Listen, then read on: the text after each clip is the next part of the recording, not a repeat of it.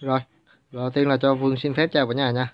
Đó, cả nhà ai mà làm à, à nấm rơm mà bị thất bại ai mà làm nó không lên được như ý không lên được như này thì cả nhà à, liên hệ cho Phương để Phương tư vấn ừm, kỹ thuật từ A tới Z luôn nha và bán dụng cụ từ A tới Z luôn. Đó Phương bán tất cả các dụng cụ mail. Đó cả nhà lên rất là nhiều luôn nha cả nhà ai đặt hàng xin liên hệ tới số 0374740446 hoặc là à, lấy cái số đó kết bạn Zalo với Phương nha. Đó, để Phương hướng dẫn kỹ thuật để cho cả nhà làm nấm rơm nó được như vậy nha cả nhà nha. Có, thậm chí có thể hơn luôn nha cả nhà nha.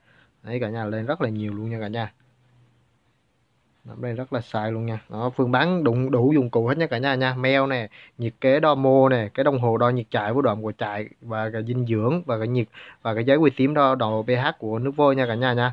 Đó cả nhà đủ dụng cụ đủ ờ, đủ dụng cụ đủ cái bộ dụng cụ đủ meo là cả nhà sẽ làm được như vậy thôi cả nhà nha. Meo tốt là sẽ cả, ờ, với dụng cụ tốt ờ, là cả nhà sẽ làm được như vậy thôi có khi là hơn luôn nha cả nhà nha. Đấy. Đó, cả nhà rất là dễ làm luôn nha cả nhà nha cả nhà lên rất là đều và sai nha cả nhà. Đấy. nếu cả nhà muốn làm thành công thì không thể thiếu uh, các dụng cụ sau đây nha cả nhà nha.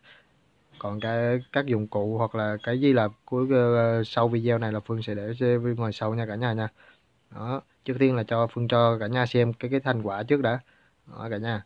Rất là lên rất là nhiều luôn nha cả nhà. Rồi còn còn cuối video cần những gì là Phương sẽ nói ra lúc sau nha cả nhà nha nha à, muốn lên muốn làm nóng mà nó lên được nhiều như vậy thì cả nhà sẽ cần những thứ gì thứ gì và làm như thế nào? À, Phương à, cung cấp từ A tới Z và à, tư vấn kỹ thuật từ A tới Z luôn nha. Đó cả nhà cứ à, nhắc máy trực tiếp alo trực tiếp cho Phương. Là cả nhà sẽ làm được như vậy thôi cả nhà nha. Đó, cả nhà lên thấy rất là nhiều luôn nha cả nhà nha.